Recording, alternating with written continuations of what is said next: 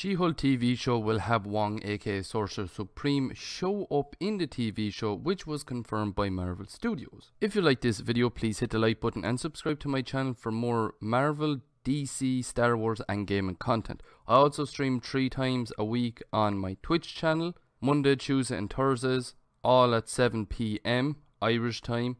And I also post to TikTok every day and hover 3 times a day and hover 3 times a week Monday, Wednesdays, and Fridays. Links to all of them will be down in the description below. Please go check them out. The official synopsis says Mark Ruffalo will be reprising his role as Bruce Banner, aka Smart Hulk, Tim Roth as Abomination, aka Emil Blonsky, and Benedict Wong as Wong. Last time we saw Wong with any of the characters listed was Abomination where they were fighting in Shang-Chi, where we could see they had a relationship and then the container imprisonment thing we saw in Shang-Chi when both Wong and Abomination went through the portal is the same one we see in the She-Hulk trailer. And this could also give us a time frame when this show takes place, and it could be during Shang-Chi and before Doctor Strange in the Multiverse of Madness. I don't think we will get episodes with the likes of Smart Hulk and Wong, but we could see them reference Shang-Chi and maybe talk a little about his rings because they were all talking together with Captain Marvel at the end credits for Shang-Chi.